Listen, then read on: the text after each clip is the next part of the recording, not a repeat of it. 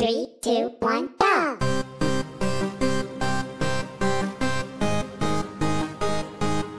Yes, hello. I was wondering if you could play that song again.